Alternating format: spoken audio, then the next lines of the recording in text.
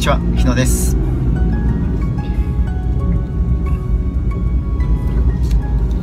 今回はですね、えー、前回とかに、えー、宇宙の話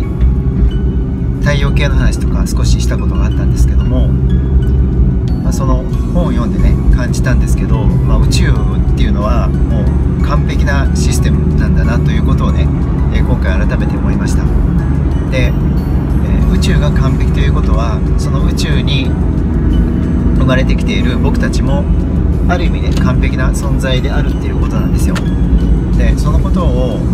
信頼すればいいんですね。どうしても僕たち日常の、えー、毎日日々のね出来事に一喜一憂したりするんですけれどもでも対極的に見れば全てはね完璧だなということを思うんですね。でこの宇宙の存在自体宇宙が存在するということ自体がすでに完璧ですし極端に言ってしまえばというか、まあ、これが本当だと思うんですけども宇宙にはやはり何らかの意志があるっていうことですよね。でそうじゃなければこれだけの世界が広がるっていうことはないわけです。で宇宙に意志があるのと同じように僕たちが住んでいる地球もそうですし惑星も皆意志が、えー、あるということです。つまり生命体だというふうに考えた方が非常に納得がいくんですよね。前にそのエレニン彗星がね太陽と木星によって破壊されたということをお伝えしましたけどもそれはやはり地球を守るためにされたんじゃないかと意思を持ってるんじゃないかっていうことですよね惑星自体が。で惑星同士が連携してると。で惑星っていうのは惑星から生まれてきてるんですね結論言うと。でこれは今の現代科学では、えー、まず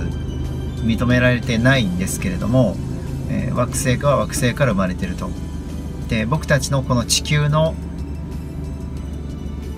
球という存在が生まれた大元は、えー、木星じゃないかっていう推測、まあ、説があるんですね。木星から木星の大赤飯の下にある巨大火山、まあ、クロノスっていうのは付けられて名前が付けられているそうなんですけれどもこのクロノスっていうところから、まあ、大爆発が起こって惑星が生み出されたと。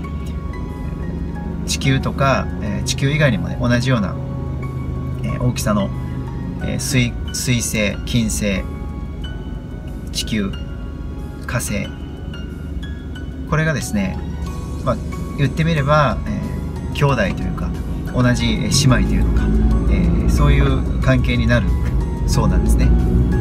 だから、惑星同士が連携しているというか意思を疎通し合っている可能性が非常に高いと思うんですよ、まあ、これ本当に口頭無形な話だっていうふうに思う方もいらっしゃるかもしれないんですけれどもですからそのように地球にも意志があり地球もこれから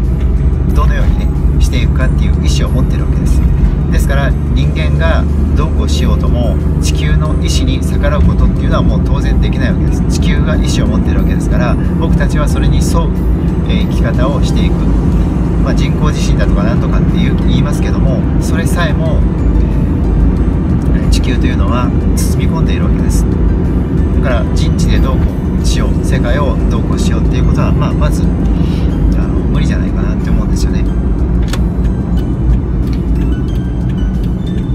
ですから地球の意志そしてその地球を包み込んでいる宇宙の意志、えそれがですねやはり厳然としてあると、えした方がいいですしその観点から僕たちが今生かされているっていうことに、気づいていけばいろんなことが見えてくると思うし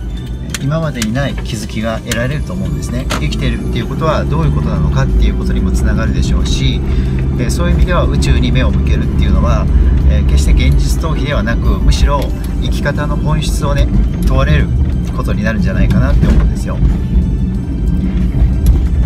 そういうことをね感じますね。だから自分だけのこの現実だけを見る、うん、っていうのももちろん現実を見るのも大事なんですけどそれと同時に、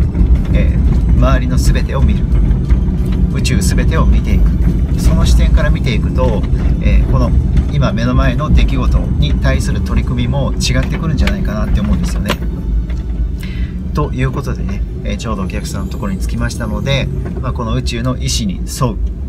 えー、ということをですね、ちょっと意識してやっていきましょう。ということで今回は以上になります。